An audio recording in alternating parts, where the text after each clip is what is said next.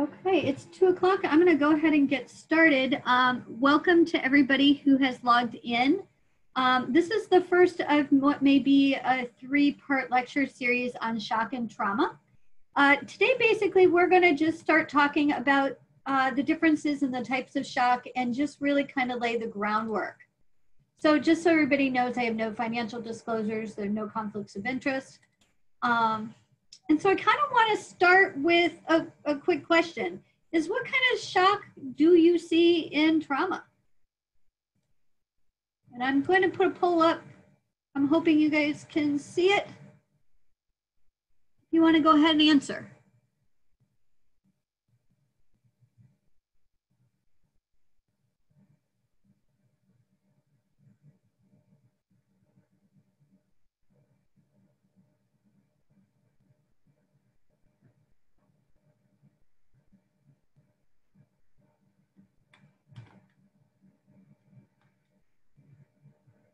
Okay, looks like most people have voted.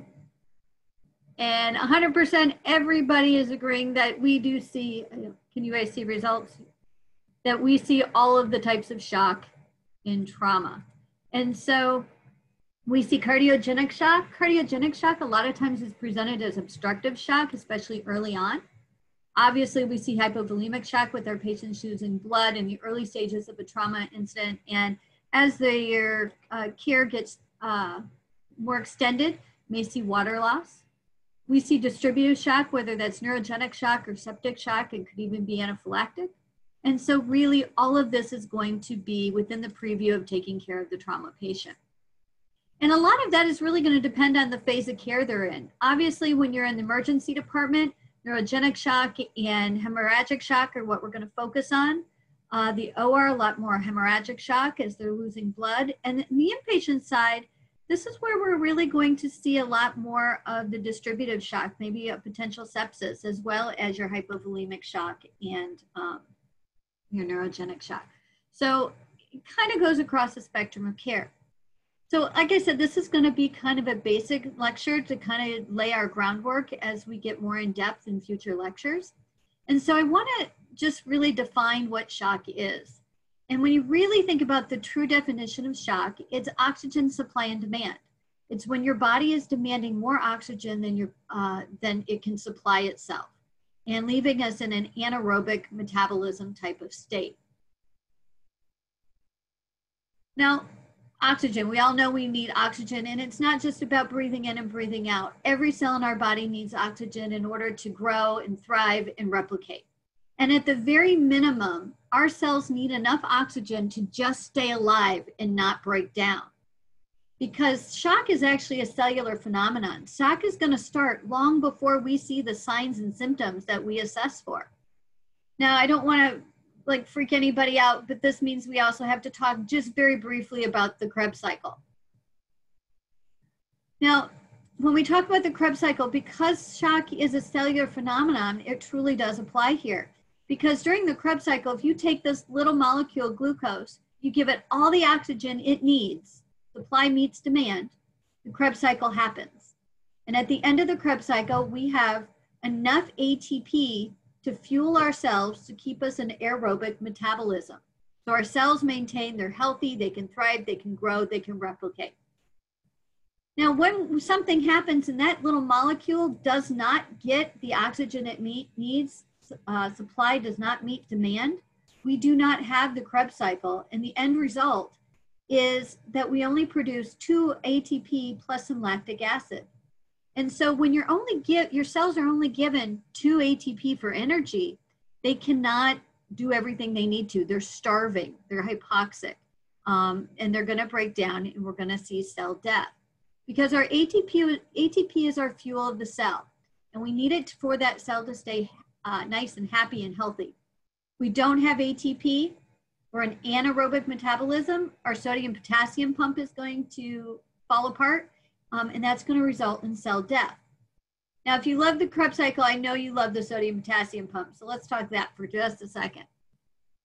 So if we look at the integrity of a cell, everybody knows these numbers on the screen. It's what you get in your BMP. Your sodium is 140, your potassium normal is 4, your chloride normal is 100, Your bicarb is 24.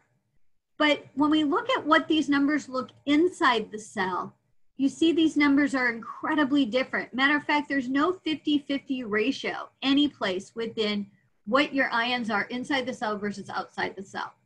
And so if that cell wall breaks down, bad things are gonna happen. That cell wall is gonna break down and our sodium, everything is gonna try, try to equilibrate. So that 140 outside the cell is gonna move inside the cell that 135 of potassium that's inside the cell is going to move outside. It's going to try to make itself balanced, so a 50-50 ratio. And we know when potassium goes high in our extracellular, when our BMP and our potassium gets to eight or nine, bad things are going to happen. We're going to uh, have some cardiac issues. And we're going to have some, you know, peak T waves and some really just ugly EKGs.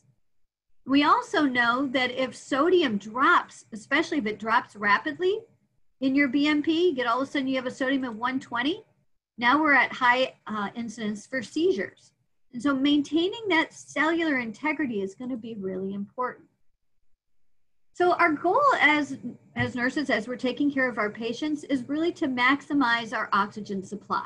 And there's five ways we can do that. We can do it ma maintaining ventilation, maintaining oxygenation, making sure our patients have enough hemoglobin to carry oxygen, that their cardiac output is good, and that once the cell oxygen reaches the tissues, our tissues are at a place in which they can use the oxygen that it, it uh, gets. So I'm going to break this down really quickly before we really jump into all of the different types of shock, because this is kind of an important first step. So the five steps, our first one is pulmonary ventilation. That's really easy. Air goes in, air comes out. Lots of ways that we can measure ventilation. The best way to measure ventilation though is by just good old clinical assessment. Now, outside of clinical assessment, we can do end tidals, which could either be on a ventilated patient or we can do it through a nasal cannula. And then, of course, if you want to draw a blood gas, whether it's arterial venous, that'll give you your PaCO2 in order to measure ventilation. Now, we also have to, you'd be remiss that if you talk about oxygenation and ventilation, that we always say that they are not the same thing. And we can't assume that a good pulse ox saturation means our child is well ventilated. Now, interventions we're going to use to combat ventilation issues, things like turning, pulmonary toileting, getting them up walking, uh, drug therapy, most likely Narcan. I mean, if you have a patient in pain, um, we give them a little bit of morphine, um, that's great. But if we give them a lot of morphine, what happens to our ventilation? It kind of depresses. And so you might need a little more Narcan.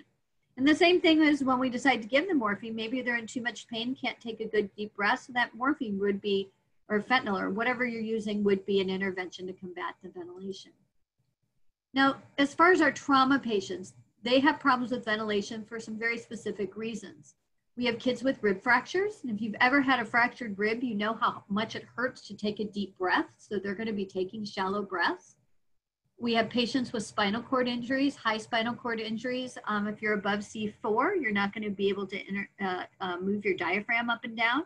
It's going to affect your ventilation. Our patients can get pneumonia. And of course, then just like we talked about, the fact that we're using opioid analgesics, which could decrease our uh, uh ability to take a good deep breath. Now, step two in making sure our patients get enough oxygen to keep those cells alive is oxygenation. And it's really the diffusion of oxygen going from the lung into the pulmonary circuit and how that can diffuse through. And there's reasons for our trauma patients that they're not oxygenating very well. And the first one is our trauma patients, especially in the pediatric arena, we see a lot of pulmonary contusions, or as you can see on this lung, you can see all those boggy areas. Those are places in which we have contusions. And with the bruising of the lung, you're not going to get oxygen. Um, it's going to be hard for the oxygen to escape that alveoli and get into the pulmonary circuit. And so it'll affect our oxygenation. We have patients with pulmonary edema. We have inhalation injuries. And then, of course, we may have patients in ARDS, all that affect our oxygenation and getting oxygen to our kids. And finally, we may have a patient with a pulmonary or a fat embolus. Now to assess our oxygenation, again, we're gonna do good clinical assessment. You know, look around their mouth. Are they nice and pink? Uh, do they look well perfused? Uh, we have our pulse ox. Not a huge fan of the pulse ox, but it does help us with some trends. So uh, I just always say when it comes to a pulse ox, buyer beware. Uh, if you do a blood gas, we can measure our PaO2. And then, of course, we can use a parameter to assess oxygenation, and that's through the AA gradient. The AA gradient, the big A is the alveolar wall, and the little a is the arterial circulation. And what our AA gradients allow us to do is look at what gets from the lungs into the arterial system. It's kind of that relationship. So it's not an exact number, um, but it does help us measure simple diffusion. Now, if we want to talk about simple diffusion of what, what our lungs can do and the oxygen that gets into our lungs on anybody with normal lungs. So hopefully all of us that are on the call, we have nice normal lungs. And so you take whatever it is you're breathing in, oxygen wise, times five. And that should tell you what your PaO2 is, or your, or your expected diffusion. So all of us are on 21%, so our PaO2s are probably in the low 100s. If I put somebody with normal lungs on 50%, they're gonna have a PaO2 at 250. But now these are normal healthy lungs in which our patient with a pulmonary contusion isn't gonna have. And so if I wanna look at somebody with not healthy lungs or injured lungs, we can look at a PF ratio to look at our oxygenation ability. The PF ratio is really kind of cool because it doesn't matter if you're on oxygen, it doesn't matter if you're on a ventilator or you're on room air. Um, the number, the ratio kind of stays the same and can translate meaning, meaning no matter what's going on with your patient or what unit you're on. And it's truly an assessment of oxygenation despite the injury and despite what your oxygen or your FiO2 is. Now, it will require to do some pretty simple math. Um, and if you're like me, if you want to do 2 divided by 2, you're taking your calculator out. So I always use a calculator to do a PaO2 or PF ratio. Now, what we're doing here is we're taking our PaO2, so you would need to get a blood gas, divided by your FiO2. And that's going to tell us, are we having issues with oxygenation or and is our patient an ARDS? If I do a PaO2 divided by FiO2 and I'm over 475, I have normal lungs, we're oxygenating fine. You can see a PF ratio between 2 and 300 is mild ARDS, 100 to 200 is moderate, and less than 100 we have a patient with severe ARDS. Here's kind of an example of a patient that we'd be looking at this with. You have a 12 year old who's in a motor vehicle crash. He comes in with pulmonary contusion and rib fractures. He gets intubated. And the team now is winning, weaning to extubate. At 10 o'clock at night, you can see he's on 40%. His PaO2 is 158, his PCO2 is 36. Um, he has good clinical assessment. He's uh, overbreathing the vent. He has good chest rise and his lung sounds clear. If we did a PF ratio, that would be taking your PaO2 158 divided by 40%, and you get a PF ratio at 395. Now, that's not that 450 that we said was normal, but we know we have a patient with a pulmonary contusion, and because he has that bruise on the lung, we can't expect it to be normal. However, it's not too bad. So the team decides to wean his FiO2 to 30 and they decrease his rate, getting ready for extubation. In the morning, um, he still has good chest rise. He still has good breath sounds. You can see he's on 30% and his blood gas comes back with a PaO2 of 90. So we take 90 divided by 30, and our PF ratio, it's dropped to 300. Now we still have that bruise or contusion on the lung, so we don't have a normal lung, but we've dropped 95 points, which is telling you that there's a problem with our oxygenation. We're going the wrong way. Something's wrong. Now, if I didn't do this PF ratio, I might look at this gas, this PO2, and fact that it doesn't look too bad. And so that's what happens, and the team proceeds to extubate, and now they put this patient on a 70% face mask. At 9 a.m., we get another blood gas on 70%. PO2 is 92. We do the math, his PF ratio has now fallen to 131. Remember, at 6 a.m., it was 300. At 10 o'clock last night, it was 395. Remember, normal's 475. We are at 131. We are in moderate ARDS even though you have a PaO2 of 92, which by itself doesn't look too bad. But when you look at the trend, we know we have a patient in trouble. So what would you do to increase the oxygenation? And I'm gonna pop this poll up. Um, how do I get to the next poll Cindy. Cindy, I only have the last poll. I can pull it up. Did you? Okay. There we go. Okay, let me pull it on. All right. So I have a patient that I need to increase his oxygenation. You need to increase his diffusion. Do I want to encourage deep breathing, change to a non-rebreather, give him a nebulizer treatment, or nothing? A PF ratio of 131 is absolutely fine.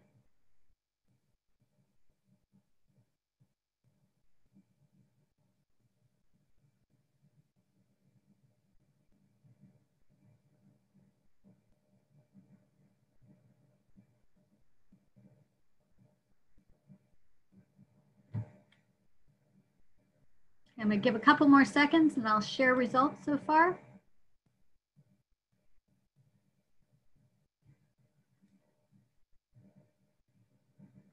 All right, I'm gonna go ahead and share. This was a little bit of a tough question because I gave you two that were really probably both right. Um, as far as diffusion, what we really want to do is encourage that deep breathing. We really want to open up the alveoli and get them breathing. Now, is it wrong to put them on a non-rebreather? Absolutely not. If you have a patient that is not oxygenating well, you are in ARDS, a non-rebreather is probably not a bad idea. But it's all about what is our treatment that's going to fix something. And that's probably going to be um, encourage deep breathing. And other things we can do to open these patients up. If it's a baby, we can let them cry for a minute. Let's turn them. Let's go do some deep breathing. Get your incentive spirometer out. Blow bubbles. Blow bubbles in your milk. Cough. Get them up, walking around. Sit them on the side of the bed. Anything we can do. And you have done all this. And with our patient, now we're able to drop his FiO2 to 50. Our next gas has a PaO2 of 96. And you can see the PF ratio is going up. And so good job.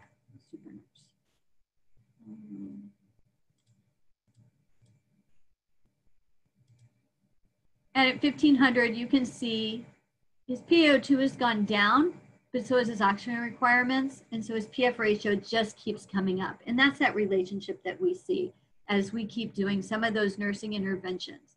So as we translate this whole PF ratio thing to all units and all nurses that are going to be touching the trauma patient, what we really can do is a lot of proactive care, a lot of making sure our patients are turning, they're ambulating, um, they're hydrating. Um, we do good clinical assessment to make sure that we are always encouraging uh, the alveoli to stay open and to work. Now, other things that we can do to intervene if we have problems with oxygenation. If I have a patient with pulmonary edema, we give Lasix. If I have a patient with pneumonia, this is a patient who's going to need antibiotics so the oxygen can diffuse past all of the muck that would be in the lungs. Um, we've already talked about a patient with atelectasis in which we can do some pulmonary toileting to encourage diffusion. And with the ARDS, we might have to add some PEEP and that could mean um, uh, potentially ventilating the patient. Our next step is hemoglobin availability. We can't oxygenate our tissues unless we have the hemoglobin that's gonna carry our oxygen. So what we're looking at is our H and H levels, our hemoglobin and our hematocrit. Just a little bit of trivia for you. This was kind of an aha moment to me once upon a time. If you take your hemoglobin and you times it by three, that's what your hematocrit is. And every time I get an H and H back, I always do this math and it's always right. So if you know one, you know the other. So normal hemoglobin, we're gonna say is 14 to 15. And we have to have that hemoglobin for the oxygen to bind onto and so it can be transported to the tissues because it can't oxygenate my tissues if it can't get there. The rule of thumb is to transfuse for a hemoglobin of greater than or equal to seven. If I give a 10 mil per kilo dose of packed red cells, it should increase my hemoglobin by two. And so that means if I have a patient with a hemoglobin of eight, it's going to take three units of blood or three 10 per kilo boluses of blood in order for me to normalize to a normal hemoglobin. Now we, all, we don't necessarily always want to do that because we don't usually transfuse up to normal because of some of the issues with transfusion. Um, what do we do if we have a hemoglobin of seven? Um, do we always transfuse because we've, we're at seven or below seven? And it's the answer to that is not always. Uh, it needs to be a clinical assessment to dictate the need to transfuse because of that risk benefit. Now remember the pulse ox. The pulse ox measures hemoglobin um, saturation. And so if I have a hemoglobin of seven, my pulse ox is going to be sitting there satting away at 100% because 100% of all my hemoglobin is saturated.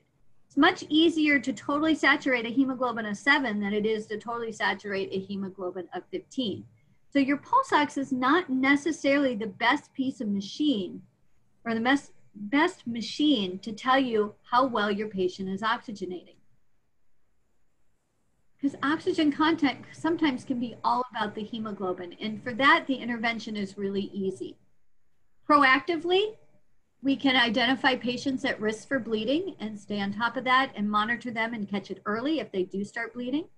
And we can monitor heart rate and neurologic status to uh, tell us if our hemoglobin is dropping. Your hemoglobin dropping is going to give you a tachycardic patient who may have some altered mental status changes because they're not able to oxygenate their tissues as well, including their brain. So signs and symptoms we will see. Um, Actually, I think that might be a poll, but we're going to skip that because I just gave you the answers. Uh, hemoglobin reactive care.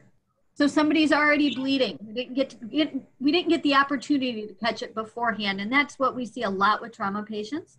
Is we're going to do hemostasis and then transfuse. So stop the bleeding or slow the bleeding, and then replace what the patient has lost. And so when we look at hemoglobin loss, it might be blood that we see on the floor, but it also could be blood that we can't visualize. We could have a patient with a big abdomen, a big firm abdomen. And remember, your abdomen can hold 100% of your total blood volume. You can totally bleed out. Could be within a, a fractured femur. That fractured femur space can hold 60% of your blood volume. And if we have a pelvic injury, it can hold another 100, can hold 100% of your total blood volume. So these are places that are, are vulnerable, that we may not see the blood on the floor, but our patients are bleeding out. And our patients can compensate um, with fight, flight, and you know, vaso or getting tachycardia, getting vasoconstricted until they lose about 25 to 30 percent of their total blood volume. Once you lose 25 percent of your total blood volume, your comp compensatory mechanisms start to fail, and that's where our patients then start to um, kind of circle the drain on us, and we're not able to manage them as well. They start getting bradycardic, majorly hypotensive, and it gets much harder to pull them back. Step four of maximizing tissue oxygenation is cardiac output. And we don't tend to measure cardiac output, so we have to look and figure out how we know it's adequate. We don't usually have catheters such as these in our patients. We're not doing uh, cardiac ultrasounds all the time to look at our output. So it really is going to be about clinical assessment. And remember, cardiac output is heart rate times stroke volume. And your stroke volume is preload, afterload, and contractility. And all of that is very measurable. And I'm going to use for the rest of this lecture the anagram CRAP. I can get it on here. CRAP. Contractility, rate, afterload, and preload. And let's be real. When you have a patient in shock, some of the first words that pop in your head are crap or a derivative, four letter derivative of crap. And so it's kind of an easy um, anagram to remember. So if we go back, let's talk about preload and afterload a little bit because it's not necessarily, we kind of all know what it is, but it's not lingo that we're using in everyday conversation. So if we talk about preload, preload is the volume of blood in the ventricles at the end of di diastole. So it's really the filling pressure. I always think of preload as how full is my heart, especially the right side of my heart. And if I have high preload, it means I'm fluid overloaded most likely, um, or I could have cardiac regurgitation or I'm in heart failure. And that's not something we often see in the early stages of trauma. But if we give a little too much volume to a patient, we might see hypervolemia in the later stages of a trauma patient. What we tend to see early on in our trauma patients is low preload means they're hypovolemic or they have blood pooling in the lower extremity. And so if you come in with an injury in which you are bleeding out, um, you're going to be hypovolemic and your preload's going to be low. Afterload is the resistance that the left ventricle has to overcome in order to push blood into the circulatory system. Another way to discuss afterload is systemic vascular resistance. It's how hard does that left ventricle have to push to get the blood out. We have a high afterload if we have hypertension or if we have vasoconstriction, and that's going to play an important role when we talk about the different forms of shock. If we have low afterload, that's because we have a patient with a dilated, dilated vessels or vasodilatation. Now, if preload is low, the pediatric patient is not going to be able to increase their cardiac contractility to raise their stroke volume. As pediatric patients, they just don't have the ability to, um, their body doesn't have the ability to, uh, to change that contractility. So instead, our patients get tachycardic and they really start to vasoconstrict in order to keep that blood pressure up. When you look at those vessels, you can see that vasoconstriction is really a powerful mechanism in order to keep up your blood pressure in order to make that afterload go high. How we assess cardiac output is I say it's good old fashioned clinical assessment. I'm really interested in what your systolic blood pressure is. Do you have good peripheral pulses and what kind of distal perfusion? I always tell people that, you know, as soon as a patient rolls into the room, one of the first things I'm going to do is put my hand on their pedal pulse. You have a pedal pulse, you have really good perfusion, you have good cardiac output, and that gives me a lot of data. In our older kids and adults, our systolic blood pressure really is a good indicator of what our cardiac output is. But in our pediatric patients, our little patients who haven't had any atherosclerosis, we can really use those peripheral pulses because they're little, they're going to have really good blood flow compared to somebody older who probably hasn't seen blood flow to those toes in 20 years. Now, has anybody ever had a pulse oximeter that ever that stopped picking up? Worked fine an hour ago, and now you can't pick it up for anything. And so, what do we do? So the pulse ox isn't picking up, so I move it to another finger, right? And still isn't picking up, so maybe I change out the probe. Still isn't picking up, I move it to the toe. Well, have you ever stopped to wonder that your pulse ox isn't picking up, not because it's an equipment failure, but because our cardiac output has changed. I always love when people have a pulse ox that's not picking up and we go get a hot pack because all of a sudden their fingers have gotten cold. Well, why has their fingers gotten cold? Are their fingers cold because the room just got chilly or is their fingers cold because they don't their cardiac output has changed? So it's always something to consider when we're looking at equipment. Now, the other things I'm going to assess for cardiac good cardiac output is do I have good urinary uh, output? What does my skin look like? Am I do I have nice good pulses or am I mottled and cold? And what is my mental status? Am I confused? Am I perplexed? Is my patient disoriented? All of these things are going to give me a clue that I do not have good oxygenation. Urine output is I'm not oxygenating my kidneys. Uh, the mottled skin is I'm vasoconstricted and I'm not getting end organ perfusion. And obviously the disorientation is going to be I'm not perfusing my brain very well. So things we can do to maximize our cardiac output, we can manipulate our heart rate, we can manipulate our intravascular volume, and we can improve our contractility. So we can manipulate that intravascular volume, we can give fluid, we can, uh, to manipulate the heart rate, we can, um, there's medications we can put, whether you're too fast, you're an SVT, we can give some medication to slow you down. We can give medication to speed you up, and we can even use uh, pacer if needed.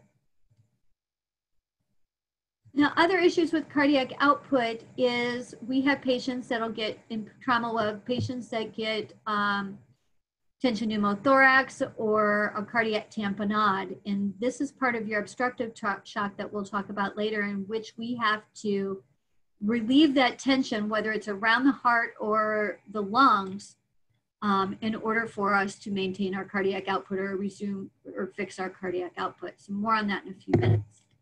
And finally is step five. This is tissue utilization all the everything else has worked. We've oxygenated, we've ventilated, we've plenty of hemoglobin, our cardiac output is good. Oxygen is made to, to the tissues. Now, can the tissues actually use it um, when it's delivered? And there's three reasons that our tissues may not be able to use the oxygen we've delivered. One is too little oxygen is delivered, so increase your hemoglobin, increase your ventilation, increase your oxygen. Second is our demand is too high. That patient has a fever, they have a ton of injuries that are increasing oxygen demand, and so we have to uh, decrease their demand somehow. Or their cells are just unable to use the oxygen that we've delivered. Now, cells can't use oxygen we've delivered for a few reasons. One, there is a pulmonary, you know, there's a clot that it can't jump across to that cell. There is a bruise that it can't go through. Um, something is inhibiting the oxygen from diffusing into the cell. It can get to the cell, but the cells can't absorb it. And that'd be an example of something like cyanide toxicity. Or the cell has already died. The cell has died, we can keep delivering oxygen, but you're not going to be able to bring it back. We can measure tissue oxygenation, and this is a little complex, but it does make sense in the end, by looking at uh, normal venous return. So our heart pushes out 100% oxygenated blood. That 100% oxygenated blood goes to your tissues. Normally, the tissues use 25% of what we've delivered, and that blood goes back to your heart 75% oxygenated. Now, that's great, and it's wonderful if we have fancy equipment that tell us this. And when I worked in cardiac care, I had lines in that would give me these numbers. But in our trauma patients, we do not have this um, ability. So I do know that if it's low going back to the heart, it's because my hemoglobin is trying to fix the hypoxia. It recognizes that my tissues have a need, and so the hemoglobin is releasing the oxygen, and it's going to come back, or then oxygen will come back to the heart uh, less oxygenated. If what's coming back to the heart is high, it's because the hemoglobin is holding on to oxygen, not recognizing that there's a need in the body. Now, since I can't measure that exactly, there are ways we can indirectly look at this. And it's a difference between looking at are we in an aerobic or an anaerobic metabolism state. We can see that through our lactate level or by a pH or base deficit. If I have a lactate level that's greater than or equal to four, um, then I'm in an anaerobic level, and anaerobic metabolism, and I'm not getting enough oxygen to my tissues my pH is less than seven or my base deficit is greater than minus six, the same thing. Um, I'm in an anaerobic metabolism state and my tissues aren't getting oxygen. So that's the way we can measure this when we don't have the fancy equipment. Now, we used to think that vital signs and clinical assessment returned to normal. That meant our patients were done, we're fine. We've resuscitated them, everything is good. But your lactate, your pH, and your base deficit might tell us differently. Specifically, that lactate. That lactate to me is a marker of anaerobic metabolism. So if I have a high lactate level, it means that I have tissue hypoxia. The only way to really get a high lactate level. And as long as that lactate level stays high, then at the cellular level, our patients are still shocky, even though they may look fine, their vital signs may be fine because sh shock starts and stops in the cell. And just like we can't see it with signs and symptoms when it starts, we can't necessarily tell it's over until we look at some of those labs. So resuscitation is over when vital signs and assessment are normal, as well as your aerobic metabolism returns and you have that lactate that's less than four, you have a pH that's greater than 7.30. Now, interventions for uh, tissue utilization is depending on the underlying cause. If there's too little oxygen delivered, then we need to increase delivery. We need to either give them some oxygen, we need to improve their ventilation, maybe they need some blood to increase their hemoglobin, some fluid in order to increase that cardiac output. If demand is too high, decrease the demand. If they have a fever, let's bring it down. If they're in pain, we need to give pain medication. Um, and if the cells are dead or dying, there's really not much we're going to be able to do. So it's going to be important to catch it before it's too late. Now, taking that basis that we've just talked about, I want to now go into identifying some of the different types of shock that our trauma patients are going to see. And we talked about the acronym CRAP, contractility rate after load and preload. But let's go through that just really quick because it's going to come back to haunt you in every single one of our uh, types of shock we're going to talk about. So contractility, strength and vigor of the contracture during systole. How, how, how much umph does your heart have? And you can think about it with Starling's law, and this is Starling's law is the heart will eject a greater stroke volume at greater filling pressures. So the more full the heart is, the better it's going to contract. It's kind of like a rubber band. The more I pull the rubber band, the more the harder it's going to snap back. Signs and symptoms of poor contractility. Fatigue, altered mental status, cool mottled peripheries, delayed cap refill, hypotension, tachycardia leading to bradycardia, thready pulses, raised jugular venous pressure, breathlessness, hypoxemia. It really all comes back to what we've already talked about. It's coming back to mental status, heart rate, pulses, uh, blood pressure, respiratory rate, and that end organ ability. Am I able to make urine? Am I able to mentate? And so all that can give you an idea that you have a problem with contractility. We look at rate. That's pretty easy. Everybody knows basic heart rate. We're really good at assessing it and we it really comes down to us knowing our pediatric norms and identification of our current rate and how the patient is trending are they slowly trending to being more and more tachycardic and if so identifying that trend before it uh, comes out of control and then when we go to afterload remember it's how hard that left ventricle has to work in order to open that aortic valve and push the blood out of the heart remember another name for it is systemic vascular resistance we're going to measure afterload, really using your diastolic pressure and your end organ uh, perfusion. So when I look at afterload, if I'm vasoconstricted, I have a high afterload. If I'm vasoconstricted, my heart's going to have to push really hard to get the blood out. And so my diastolic pressure is going to be high. If I um, have vasoconstriction, I have cool mottled skin. I have low urine output because uh, oxygen is getting those kidneys very well and an altered mental status. If I'm vasodilated, meaning I have a low afterload, um, my heart's not going to have to push very hard. So my diastolic pressure is going to be low. We're going to have patients with orthostatic hypotension. They get up to go to the bathroom and get woozy, may even fall out on you. They're tachycardic and they can be flushed. And finally, we go to preload. Remember, it's that how full is your heart? It's the left ventricular end diastolic pressure. And it's the amount of ventricular stretch at the end of diastole. Um, or the better way to pull it, put it is the, the heart is loading up for the next big squeeze of the ventricles during systole. And so I always had, I used to work with a cardiac surgeon and he would never ask what preload is or what my uh, right atrial pressure was. He would always ask what's the filling pressure. So I always think of filling pressure when I think of preload and how full of the how full of blood is my heart that's going to get squeezed out um, when the heart beats the next time. If I have an empty heart, if I have low preload, I have poor peripheral pulses, we're hypotensive, we may have some venous pooling, and we have poor oxygenation. If my heart is overfilled, uh, pulmonary congestion, we'll have high blood pressure, and you may see some edema. All right, when we think of trauma, the first type of shock that we think of is hypovolemic shock, specifically hemorrhagic shock. And these are because our kids come in and they're bleeding. Other types of patients with hemorrhagic shock that we may see other than trauma patients, um, and hopefully we don't see too many OB patients, but they're another subset. We also see kids with GI bleed and uh, bleeding disorders that can come in or at some point develop hemorrhagic shock. You develop hemorrhagic shock when you've lost greater than 25% of that total blood volume. That's when you start decompensating in hemorrhagic shock. Now, hemorrhagic shock falls under the heading of hypovolemic shock. And so we can have water loss um, instead of blood loss.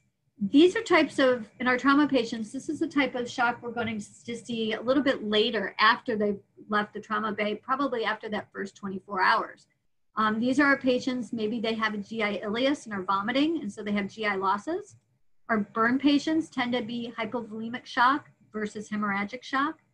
And then we have some patients that just have so many insensible losses, whether it's from you know the NG putting out a lot. We've given them some Lasix and they've responded really well. They're sweating, they're shivering, and we can lose water that way. Now, the signs and symptoms of hypovolemic shock from water loss versus blood are pretty much the same. And if we look at them using the acronym CRAP, your hypovolemic shock patient is going to have high contractility. They're going to be tachycardic. Their heart is going to be empty, so they have uh, low low preload. Sorry, I made a mistake there. And they're going to have uh, high afterload. I switched those two up. I'll have to fix that. So the preload is high because their uh, the preload is low because their heart is empty. They're bleeding all that blood out. Their afterload is high because we have vasoconstriction in order uh, to maintain our blood pressure. And so for hypovolemic shock, we really look at our patients, they go into fight flight. So that sympathetic nervous system takes over, it releases a lot of adrenaline.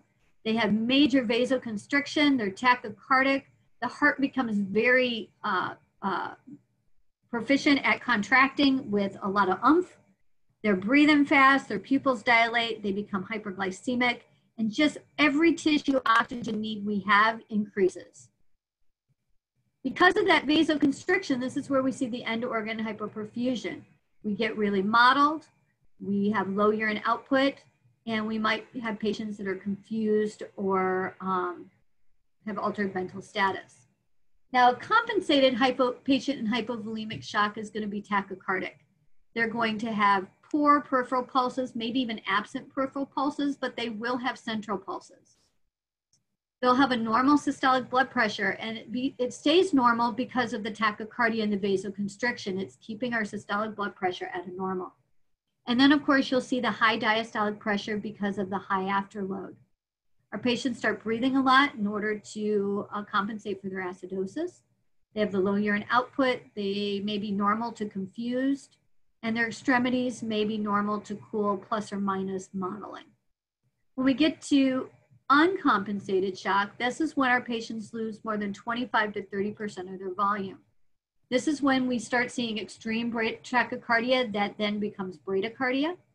Their systolic blood pressure starts to drop we don't have any peripheral pulses and our, our central pulses now are starting to get thready. Our extremities are cold and mottled and our urine output is very oliguric to anuric. And our uh, mental status becomes obtunded, goes from kind of being incredibly agitated to the obtunded state. Now treatment is where hypovolemic shock varies on water loss versus blood loss. But the overall goal is we need to make sure we fill the vasculature back up, fill that heart, increase our preload, and decrease our afterload. And so if I just have water loss, it's all about just filling that tank. And we can do that with a crystalloid such as LR, or we can use plasma if you'd like to use a colloid. And there's a lot of advantages to using colloids over crystalloids um, in some of the recent literature that looks at um, basically the use of crystalloids is going to enhance your inflammatory response, which kind of leads to bad signs and symptoms. And we see that the use of colloids such as FFP um, does not act on that uh, uh, SIRS type picture as much. And so if I have a two-year-old with gastritis times three days, he has vomiting and diarrhea, he has a heart rate of 200, no peripheral pulses, weak central pulses, blood pressure of 50 over 38, the best treatment I can probably give this patient is 20 per kilo of normal saline or LR or plasma in order to fill the tank. H&H is probably fine, so the need for blood or um, other yellow products for coagulopathy are probably not needed. Now we give that 20 per kilo bolus of normal saline and his vital signs don't improve, but they're not worse. So the next thing we could do is we could repeat the bolus. We could give a 10 per kilo bolus of blood. We could give a co-dose of epinephrine. Now this is where people sometimes get into trouble. Um, the right answer here is really to go ahead and repeat that bolus because remember the problem is that our patient is dry. Some of you may be asking, why not give epi? Well, epinephrine is a vasoconstrictor. And it works by increasing your blood pressure by increasing afterload. And if I'm in hypovolemic shock, my vessels are already constricted because I'm in that fight flight. My afterload is already high. And so what I need is not more vasoconstriction, I need more volume. And so in hypovolemic shock, epinephrine is somewhat useless until you can fill that tank back up. Now, if I have a patient who's bleeding, they're in hemorrhagic shock. First goal is always to stop the bleeding, hemostasis first. And so we can stop the bleeding in several ways. If it's external bleeding, we can put pressure or a tourniquet. If it's pelvic bleeding, I might want to put a pelvic binder on or some way re, uh, push that pelvis together. Put on warm blankets.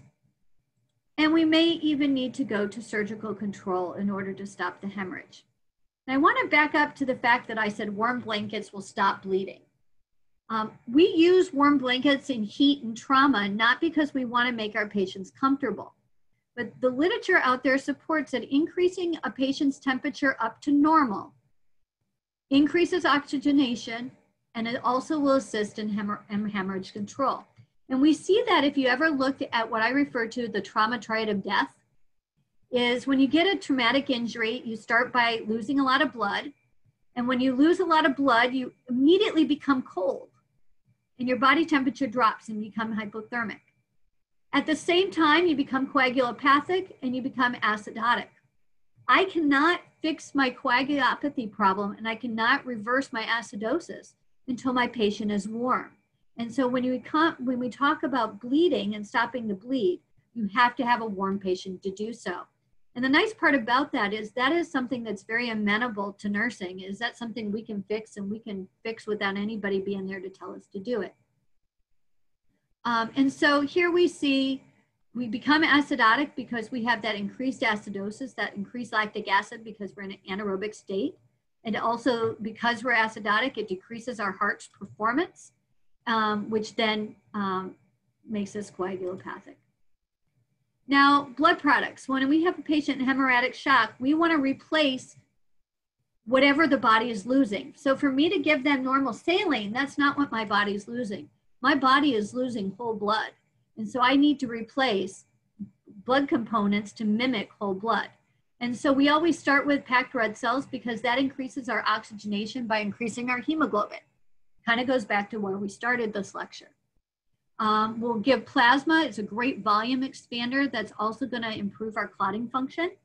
And starting with these two things set us up for really initiating a massive blood transfusion protocol. Now, what we need to keep in mind with massive blood transfusion protocol in somebody with hemorrhagic shock is it's important that we maintain the balance. We need to have equal administration of packed red cells, plasma, and platelets.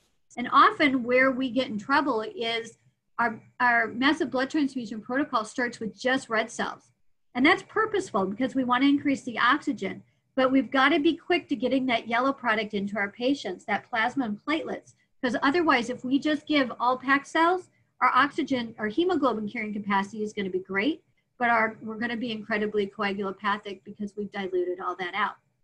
Now, here's the problem with that, and I'm not, I think everybody on this call is probably aware of it, is that plasma is frozen and it takes about 17 minutes before um, it can be released to get it to the bedside.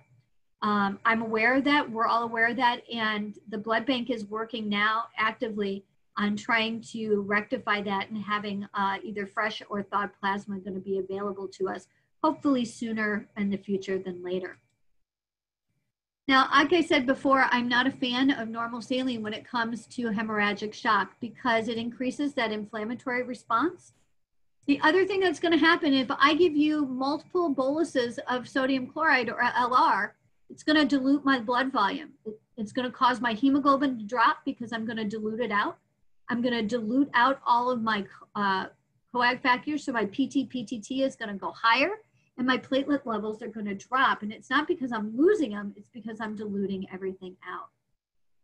And then there's always, like I said, the talk about epi. With hemorrhagic shock, again, if you are having blood pressure problems, it's not because you're vasoconstricted. It is because you're already vasoconstricted. So epi's not going to really be that helpful. It's already, it's all about uh, maintaining your volumes. Now that takes us to distributive shocks, and there's three types of distributive shock that a, a trauma patient can have all three of them. Um, we can have septic shock, we can have anaphylactic shock, or we can have uh, neurogenic shock.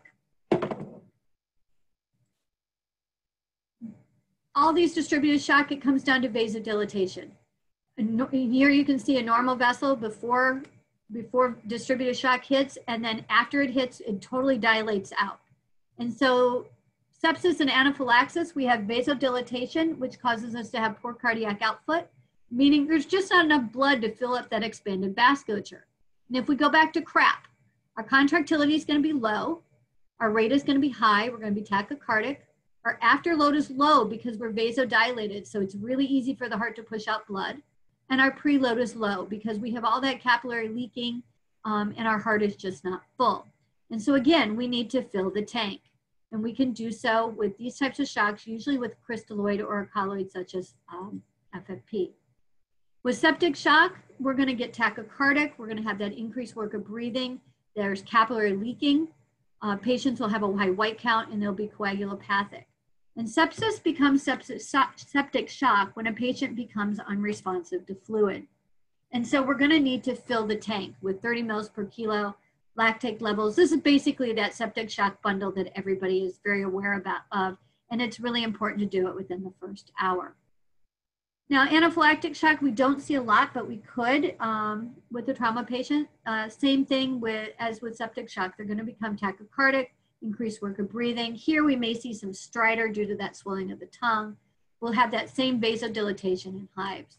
Treatment, fluid, um, epi in order to uh, strengthen up that, that vasoconstrict, or to vasoconstrict that vasodilatation and will protect the airway and later treatment would be antihistamines and steroids. Now the final uh, type of distributive shock is your neurogenic shock. These are high spinal cord injuries of kids um, that have an injury above T6 and they lose that flight flight response and that parasympathetic takes over. So you can see here that neurogenic shock when we use CRAP, low contractility, low rate, low afterload, and low preload because it's just the parasympathetic taking over which means they not only have a low heart rate, but they definitely become bradycardic.